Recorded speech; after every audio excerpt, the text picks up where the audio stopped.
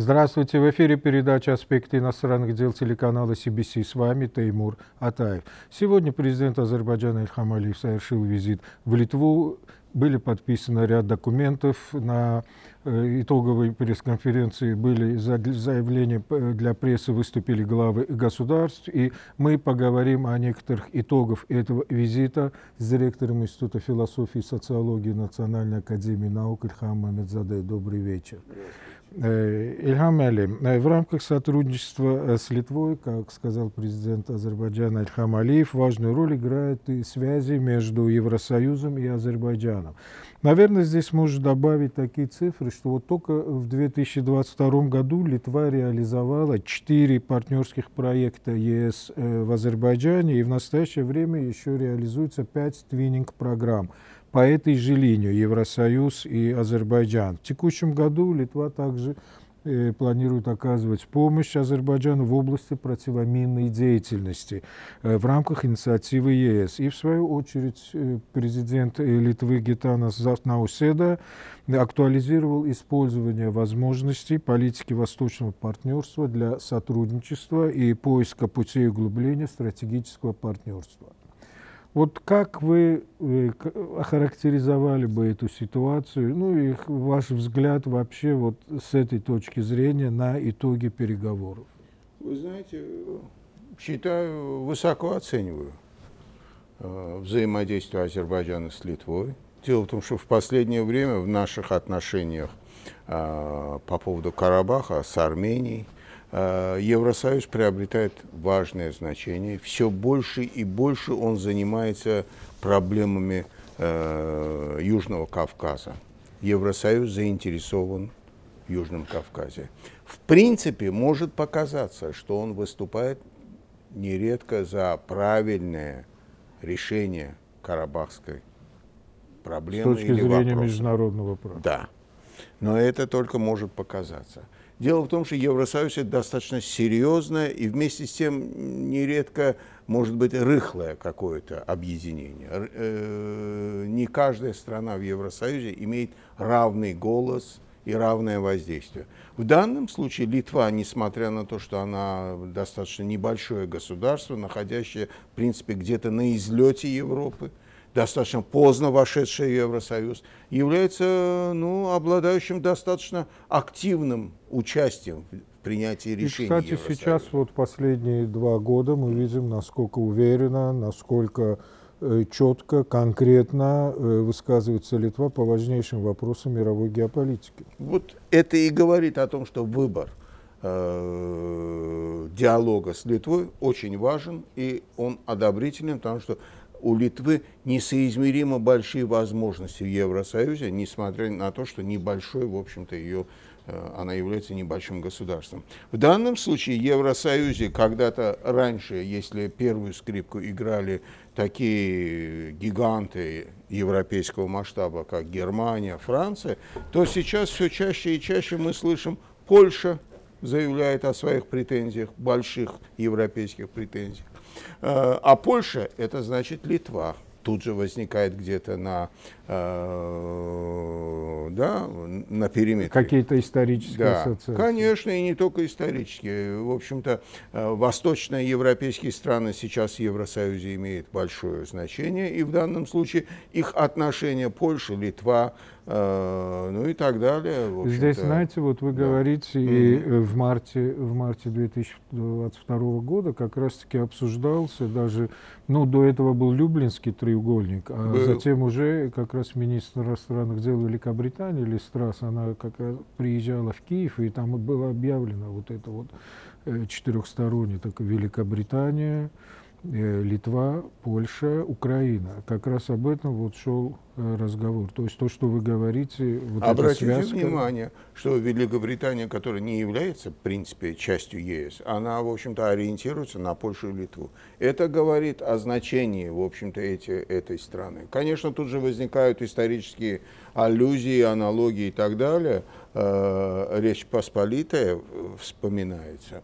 Э, это один момент. И второй момент, э, который четко показывает, Литва на самом деле в прошлом году оказала достаточно активно участвовал в рекультивации проблем Карабаха в Азербайджане.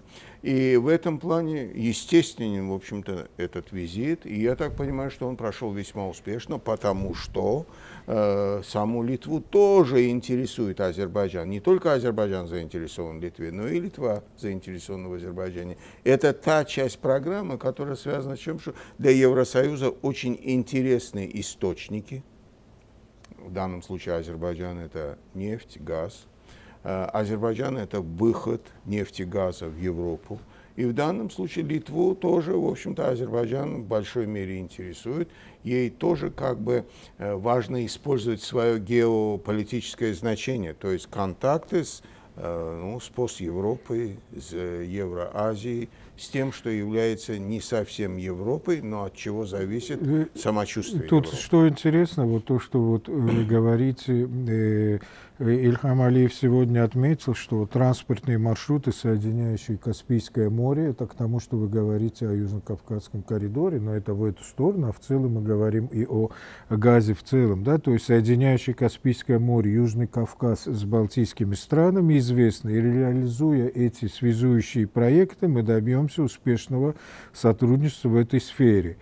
А, э, тут еще, конечно, можно даже отметить вот э, недавняя строительство Литвой газопровода, соединяющего эту страну и в целом страны Балтии с ЕС и э, газовую сетью. Э, здесь уже проявляется, но это чисто, может, пока экономический такой момент, возможности литовского терминала сжиженного Э, природного э, газа и перспективы поступления как раз азербайджанского э, голубого золота в Литву через соединение с Европейским Союзом. То есть звучит в целом многообещающе и перспективно. И плюс думается, что вряд ли же, конечно, был предусмотрен и бизнес-форум тоже в рамках этого сегодняшнего визита? В принципе, Литва – это, с одной стороны, достаточно развитая сельское хозяйство, это исторически всегда так было, э, и достаточно развитый технологичен, в общем-то, промышленный возможности страны. И одновременно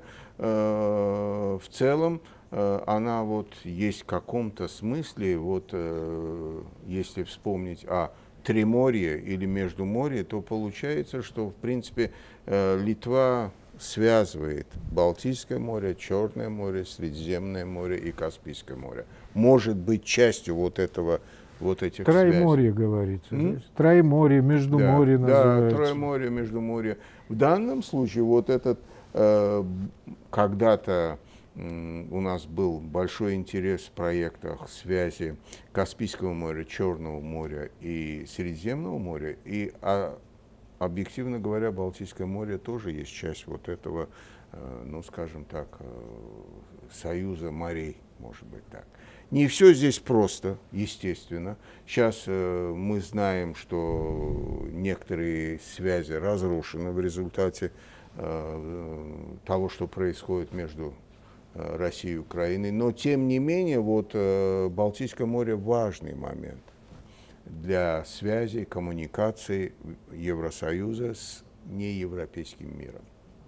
Поэтому, я думаю, э, для Азербайджана эти связи представляют интерес. Зная о том, насколько сложны отношения прибалтийских республик э, с Россией, э, можно представить, что Литва заинтересована в расширении связей с той частью бывшего Советского Союза, которая, в общем-то, открыта к контактам. Азербайджан из таких государств, в принципе. И в этом плане, в общем-то, здесь э, возможности, наверное, большие. Э, Ильхам Али, вот сегодня речь шла о стратегическом партнерстве. Но мы уже неоднократно отмечаем в рамках нашей передачи такой важный момент, что да, можно же э, говорить о стратегическом партнерстве, можно говорить о геостратегическом партнерстве. Действительно, это э, между нами, даже вот то, что вы перечислили, это еще небольшой объем. Сегодня и документы были подписаны, меморандумы, но э, все это обязательной степени для того, чтобы э, стыковались взаимоотношения между странами, конечно, должны подпитываться культурно-гуманитарными э, связями. Вы очень часто тоже присутствовал и принимая наше приглашение участвовать в передачах, делитесь своей информацией по поводу того, насколько по линии Академии наук идут связи. Наверное, есть информацию тоже и по связям Академии наук Литвы и ну, имеется в виду научных кругов Литвы, Азербайджана, может, по вашей линии конкретно? В принципе, эти связи могли бы быть и больше, и более разветвленные, но они есть. И о них, наверное, можно интересно рассказать. Я бы что отметил? Ну, прежде всего, я вспомнил, конечно, бы гуманитарные форумы. Международные гуманитарные форумы в Баку, которые проходили. Там всегда участвовали э, литовские экс-президенты, Грибаускайте, вспоминается. Э, участвовали ученые, журналисты из Литвы, не раз я встречался с ними. На память приходят, в общем-то, встречи по, на секции мультикультурализма. Э, был даже такой интересный момент. Э, была небольшая дискуссия на одном из э, форумов по мультикультурализму, Международного гуманитарного форума на секции мультикультурализма. И после того, как я выступил о том, какова политика Азербайджана мультикультуральная, философия мультикультурализма, социология азербайджанского мультикультурализма, один из литовских э, гостей ученых сказал, что ну, в Литве тоже есть мультикультурализм. А на что я ему как бы сказал, что вот э, в Литве когда-то, например, были гетто еврейские. Да? То есть это я к тому, что э, мультикультурализмы бывают разными. Хотя в данном случае э, я должен отметить, что есть и иные контакты другого типа. Э, например, мне вспоминаются связи нашего института философии э, с Литовским институтом философии и социологии. И вы знаете, было очень много совместных попыток наладить взаимообмен, взаимодействие. Вот я вспоминаю книгу по этике, которую готовили литовские философы, Жамайтис, мне приходит в память такой философ был, и там э, достаточно активно были представлены азербайджанские философы, которые занимались проблемами этики и морали. Это То есть это современная интересно. школа? Да. Нет, это не современная школа, это школа конца 80-х, начала 90-х годов. Угу. И тем не менее, это факт. Вы знаете, что связи в науке, они всегда как бы закладываются нельзя сразу их заложить. Это достаточно длительный процесс. А, он начался еще в конце 80-х, начале 90-х годов а, и продолжится далее. А, опять-таки я вспоминаю, что несколько лет назад, например, я сам читал лекции по азербайджанскому мультикультурализму. Есть такой Вильнюсский университет, э, педагогический университет. Сейчас он называется Литовский педагогический университет. Это достаточно солидная научные э, учреждения, достаточно э, большим авторским, учительским, ученым коллективом. И вы знаете, в общем-то, там тоже было э, достаточно большой интерес к азербайджанскому мультикультурализму. Э, большие группы студентов были по нынешним На временам. каком языке вы читали да, лекции? Э, на русском и английском. Э, уровень моего английского, может быть, не позволял исключительно читать лекцию на английском, но в общем-то, участвовал в дискуссии на русском языке со студентами. И я знал, что литовские студенты не очень благоволят. благоволят русскому языку, но ради получения информации это их интересовало, и, в общем-то, их очень интересовал азербайджанский опыт мультикультурализма. И а, сколько времени длился этот курс? Э, ну, мне 10, я так понимаю, mm. да. Э, там не только я читал, естественно, социологи выступали там э, в свою очередь, то есть азербайджанские социологи. Да, то есть это говорит о том, что, в общем-то, вот в этом направлении, в общем-то, поддерживаются отношения. А потом я еще должен сказать, мне интересным показалось э, в этом университете построение, организация дела философии. Философия у них скорее, скажем так, коммуникативное действие основу философии литовской составляет современной философии, философской мысли. В Азербайджане нас интересуют более метафизические и историко-философские проблемы. А в Литве фольклор, философия фольклора, философия литературы на, оказывается на, так сказать, э, на самых основных позициях. А, что еще я могу сказать? Хорошо развита социологическая мысль, она не только, кстати, в Литве, но и в Эстонии, и Латвии хорошо представлена.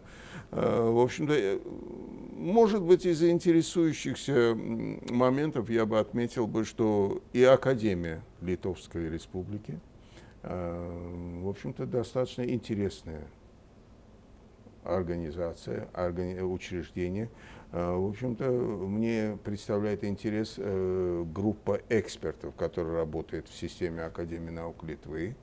А, в общем-то, можно было, знаете, как много там иностранных экспертов, ученых.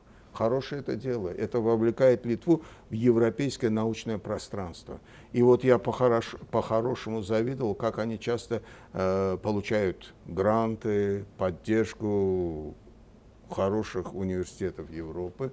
Э, в общем-то, и где-то всегда думал о том, что нам надо пройти по этому пути азербайджанской академической мысли.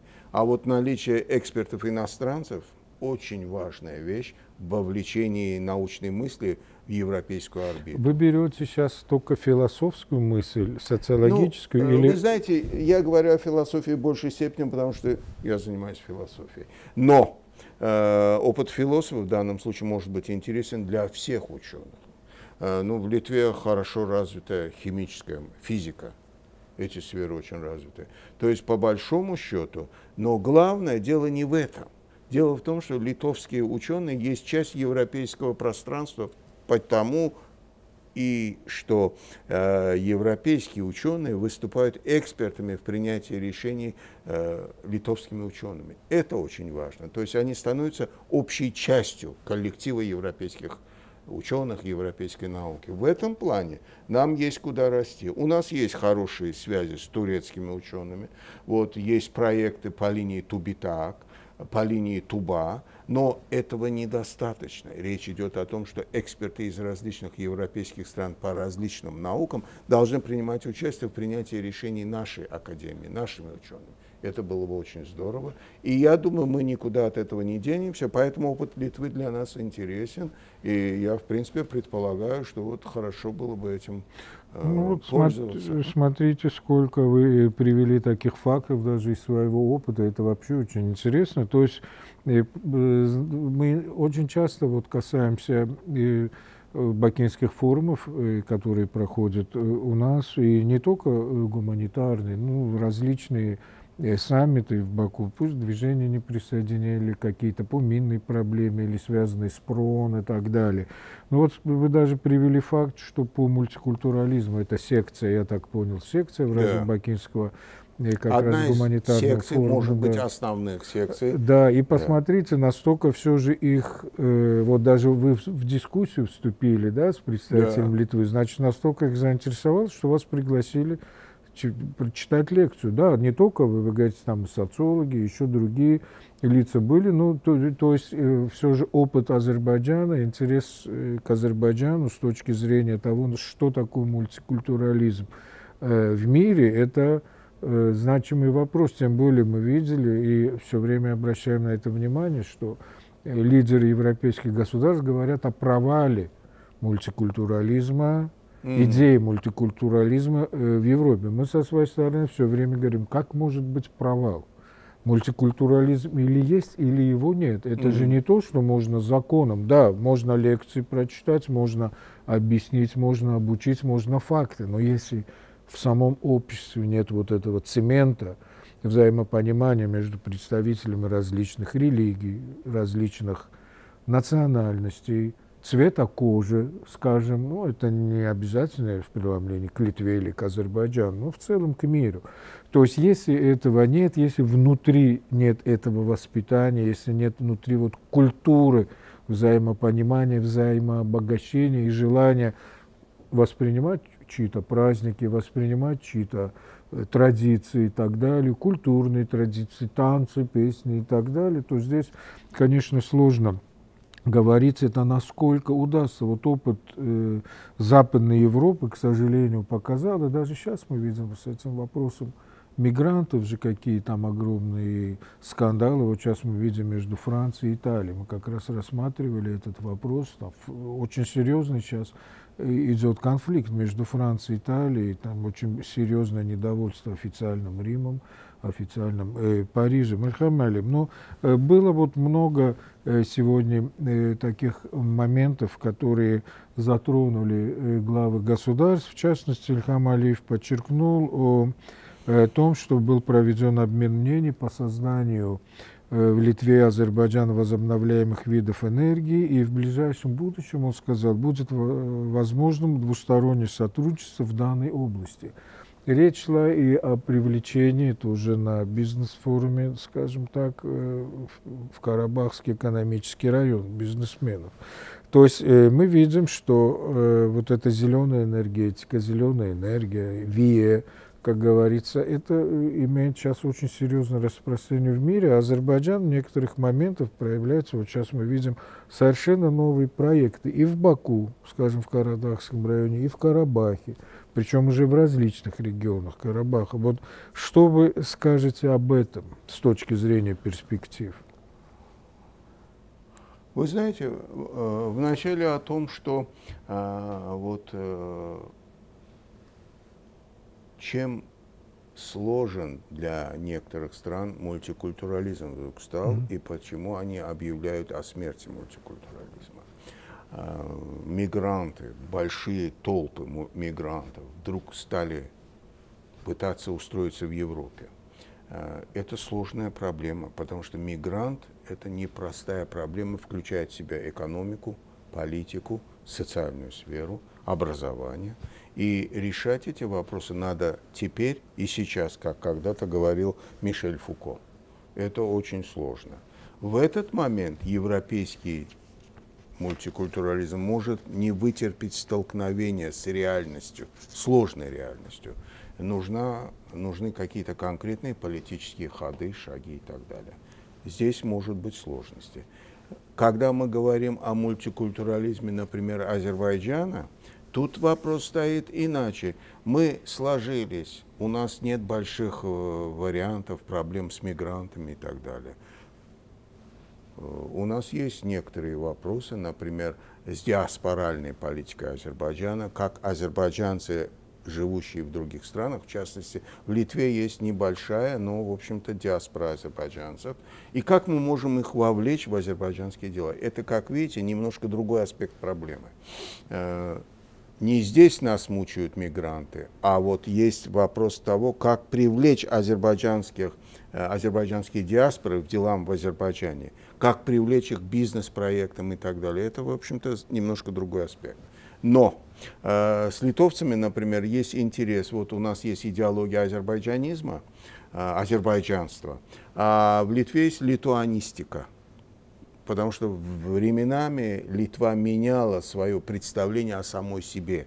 Вот литовцы – это вначале Речь Посполитая, это славяне, которые перестают быть постепенно славянами.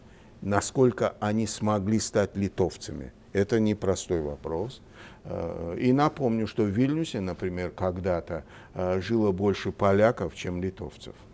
И сейчас, кстати, на улицах Вильнюса чаще слышится русская речь, чем, например, литовская речь на улицах Вильнюса. Хотя в вузах больше литовской и английской речи. Это есть проблема. Э, как они будут решать, им виднее. Но я хочу сказать, что в Азербайджане азербайджанство несколько другой момент. Мы все говорим на азербайджанском языке, улицы Баку, и университеты, и академия на азербайджанском языке говорят, и язык, государственный язык для нас важнейшая ценность. У нас в этом плане нет проблем. На азербайджанском говорят, в принципе, и те небольшие группы не азербайджанцев, которые живут с нами вместе в одной семье, в принципе, азербайджанство, и принимают. И, кстати, вот отмечание, вот я совсем недавно был э, на конференции в Болгарии, в общем-то, э, мы видим, как все, многие европейские страны знают, что вот столетие Гейдара Алиева, Зарифы Алиевы, те особенно страны, которые являются с нами в контакте. Например, э, ну, Болгария это э, очень близко. интерконнектор, да, да, азербайджанский там. Ну и в этом плюс плане, же там помощь со стороны фонда Алиева была. Да, да, да. В этом помощь. плане вот наша диаспора, например, в Литве, э, до нее возлагаются определенные, в общем-то, функции, и она может вовлечься в отношения между Литвой и Азербайджаном в позитивном смысле слова. Поэтому мультикультурализм э, не умирает, но он видоизменяется. Я на примере Литвы сказал, допустим, как он меняется. Э, меняются, в общем-то, палитра того, из чего состоит литовская нация и вот меняется мультикультурализм. Иногда в момент перемен э, слагаемых может нарушиться и может кто-то сказать о смерти мультикультурализма. А потом заново возникает, в общем-то, вот эта новая э, общность, которая называется по-старому, но она уже новая. Теперь насчет экономики. Э, в принципе, любая европейская страна э, имеет возможности помочь э, в рекультивации, в построении умных городов и сел в Карабахе. И их к этому делу надо привлекать. Любая европейская страна может принять участие в очищении от мин территорию Карабаха.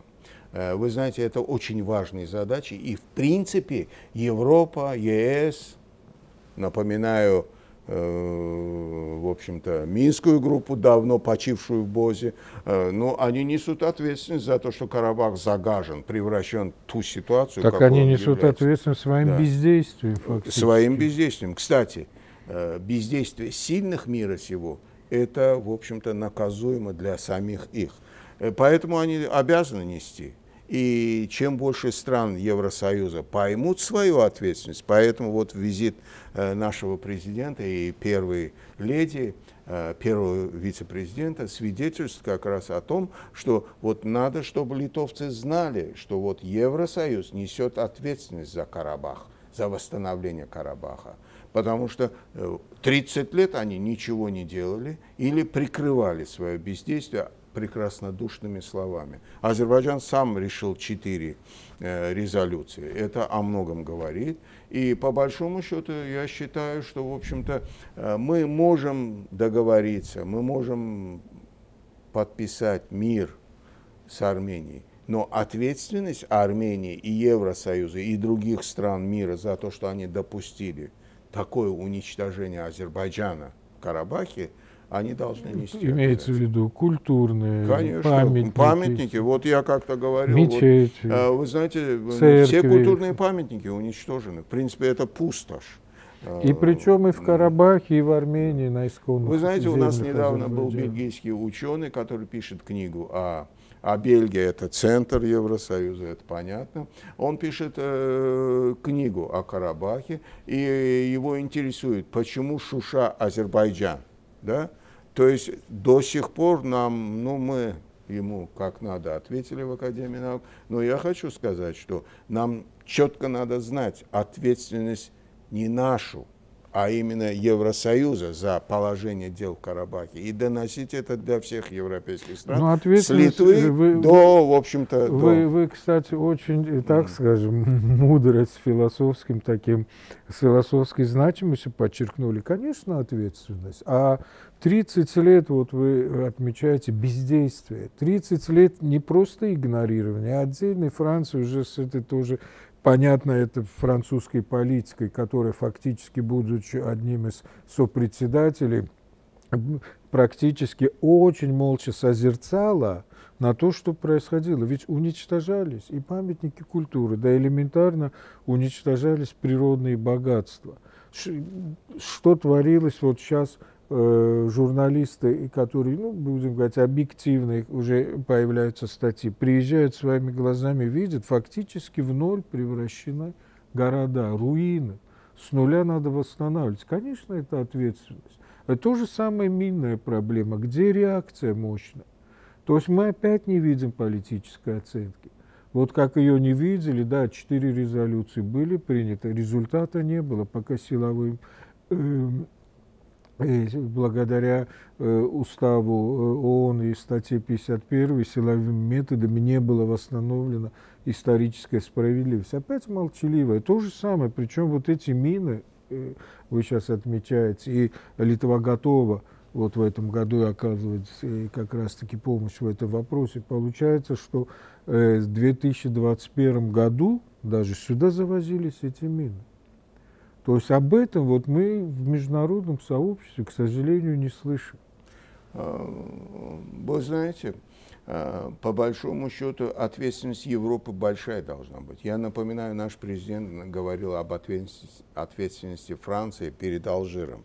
Ну, бросили Алжир, в принципе, после войны, и, ну, и как это может вписываться вообще в высокие идеалы европейского, например, просвещения. А, с другой стороны, э, вся Европа несет ответственность за Южный Кавказ. Мы теперь видим, как они хотят, когда хотят вмешиваться в дела Евро... Евроазии, что они могут творить. В данном случае понятно, что э, ну, получается как бы двойные стандарты. Например, какие-то они, они Европе, реалии, да, реалии сегодняшнего да, дня. европоцентризм, Европа, в общем-то, э, ощущение своего превосходства. Но у превосходства есть другая сторона. Вот ответственность за то, что вот творится под твоей сенью. И вот то, что Армения своей агрессии вытворила в Карабахе, я думаю, что мы долго будем доносить до Европы, вообще до мира, и обязаны доносить. Э, мы можем подписать мир, и, наверное, мы его подпишем, и, наверное, у нас восстановятся отношения с Арменией, но то, что вот то, что они вытворили, это, я думаю, мы должны все время, в общем-то, педалировать на встречах со всеми европейскими Ильхам Алим, как раз-таки вот вы сейчас затронули тему подписания мирного соглашения. Президент Азербайджана Ильхам Алиев сегодня подчеркнул, как раз-таки в заявлении для прессы, что подписание мирного соглашения между э, Арменией и Азербайджаном неизбежно в плане его соответствия международным принципам и нормам.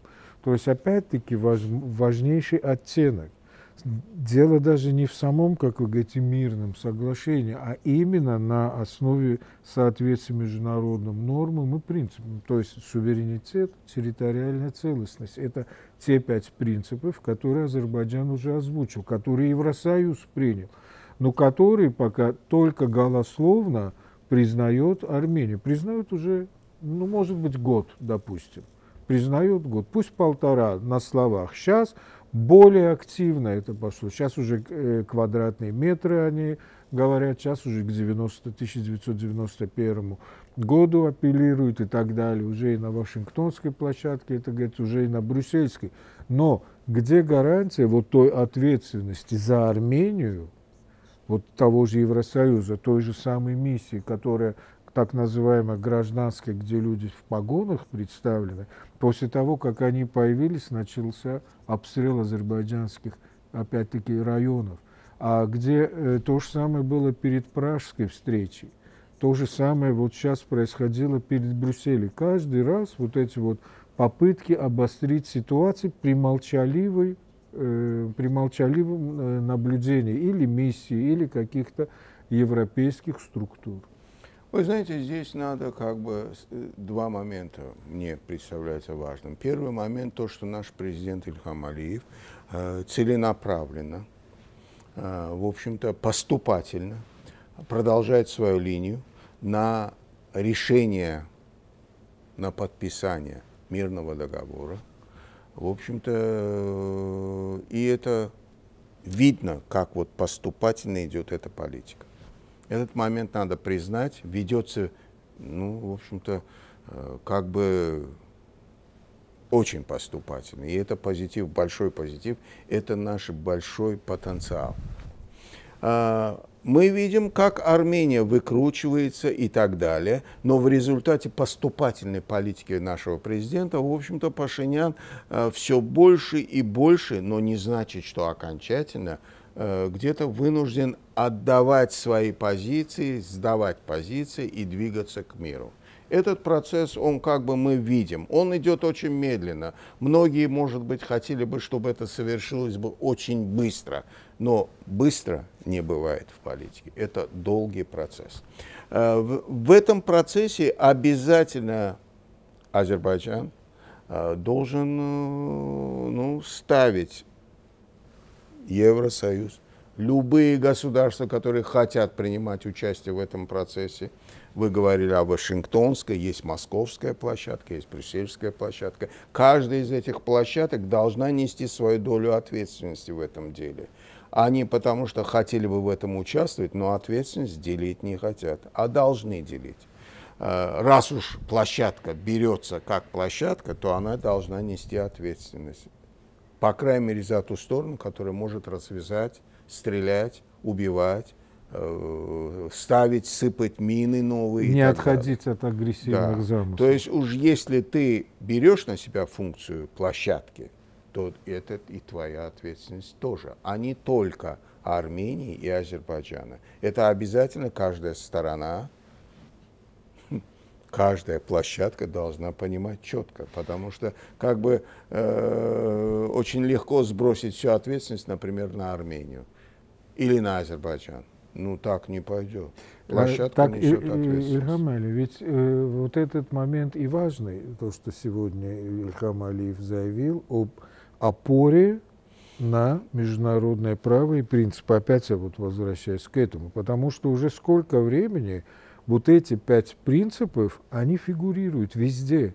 То есть их признал Евросоюз, потому что э, еще на второй встрече Шарль Мишель, после э, того, как встреча трехсторонняя еще состоялась, без того, как не, э, в Праге подсел Эммануэль Макрон, он в своем выступлении перечислил буквально все эти, он не сказал, что это азербайджанский принцип, но он фактически все эти пять принципов перечислил. Никол Пашинян, возвратившись в Ереван, он как бы сказал, что мы признаем какие-то определенные э, принципы, но тут же дезавуировал сказанное Шарлем Мишелем. И вот это вот то, что вы говорите, постепенно он эту позицию меняет, пока еще мы видим на данный момент, да, риторика есть, риторика меняется. Сейчас они ставят вопрос уже несколько по-другому, но все время попытка интернационализировать. Вот в чем разница? Вот ваш подход, например, когда говорите об ответственности европейского или мирового сообщества в целом, будем говорить о Евросоюзе, ответственность в том, что если вы проводите переговоры, если вы предоставляете, как вы говорите, площадки, то как минимум старайтесь обеспечить то, что там сказано, или то, что сказано вами на пресс-конференции то, что хочет Армения, там в прямом смысле слова, привести сюда каких-то наблюдателей, поставить их в прямом смысле на границе, в Армении, в Азербайджане, добиться этого. Цель совершенно, тут цель не об ответственности, а цель обеспечить вот как вы отметили, агрессивные устремления. И вот эти вот провокации со стороны Европарламента, со стороны французского сената, со стороны определенных других сил, или закрытие глаз ЮНЕСКО на то, что происходит, происходило, и и то, то, с чем сталкиваются сейчас наблюдатели. Это все звенья той же самой цепи, чтобы не допустить в определенной степени решения именно реализации тех принципов, которые озвучил Азербайджан. И мы видим, сколько это тянется. Да, а, вы знаете, это очень интересный вопрос, как Армения пытается, э, в общем-то, выбраться из очень непростой для себя ситуации. И в данном случае три площадки – это ее возможность как бы каждый раз сталкивать площадки друг с другом. Я, конечно, эвфемизм попытки, использую. Это их да. попытки, Она да. пытается. То есть, э, как бы три площадки дают возможность на всех площадках, в общем-то, выкручиваться с помощью этих площадок. Это надо иметь в виду, что непростые временами отношения между Евросоюзом, Соединенными Штатами и Москвой дают возможность Армении играть, в общем-то, вот свою скрипку.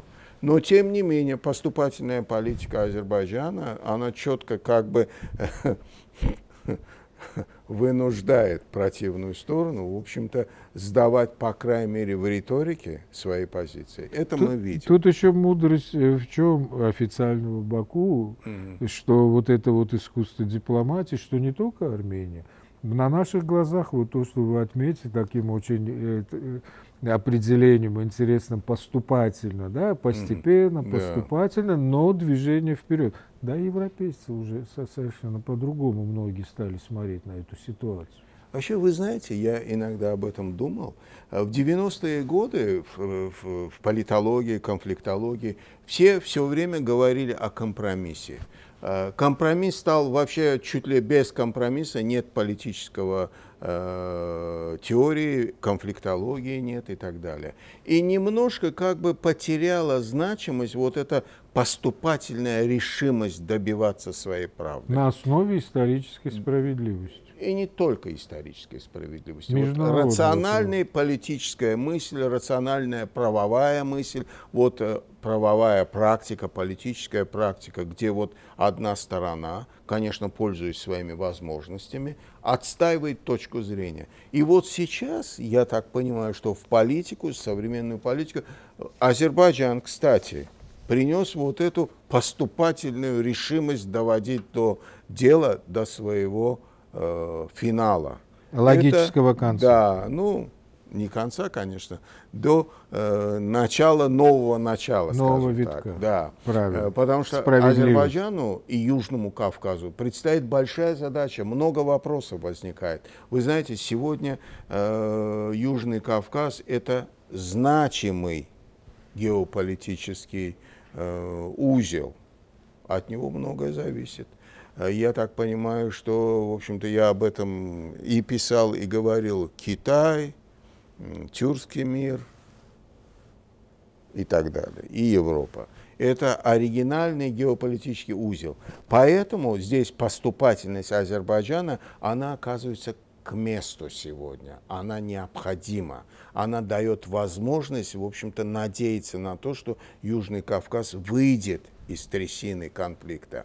А армянская позиция, она напротив, она обречена в каком-то смысле. Она вредна не только для Армении, не только для Азербайджана, она для Южного Кавказа вредна. А в перспективе и для более больших регионов она вредна. Она мешает начаться процессу. Но вы же говорите, да. вот этот новый формат, угу. новое развитие, да. новый вот этап. начало нового развития, оно связано с тем, что необходим мир на Южном Кавказе. Вот Карабах должен стать связующим, а не разрывающим Южный Кавказ. Э, в общем-то, ну, Армения противостоит, в общем-то, перспективам, причем своим тоже. Э, ну вот, как-то так может быть. Да. Ильхам Алим, ну, хотелось вас поблагодарить за такую обстоятельную беседу. Причем вот что интересно, Э, получается, смотрите, обсуждаются на встрече глав государств Литвы и Азербайджана важнейшие вопросы. Здесь и энергобезопасность Европы, здесь и чисто Азербайджано-литовские взаимоотношения, здесь и вопрос минных полей, здесь и вопрос бизнес-форума, э, освоения Карабаха. То есть Э, масса вопросов. Там и по правоохранительным органам по сотрудничеству был заключен договор. Э, вот вы привели такое даже сотрудничество между Академией наук. То это даже вы лекции читали на английском, на русском языке. И привели кое-какие факты из истории Литвы, показали, э, скажем, взгляд на ну, ваш взгляд, такой субъективный взгляд на ситуацию в Литве сегодня. То есть рассмотрели мы и геополитические оттенки, взаимоотношения с Польшей, взаимоотношения с Европой в целом. И э, получается, что в любом случае настолько на сегодня вот мир взаимосвязан, что все равно мы возвращаемся, и президент Азербайджана в очередной раз подчеркнул ситуацию на Южном Кавказе.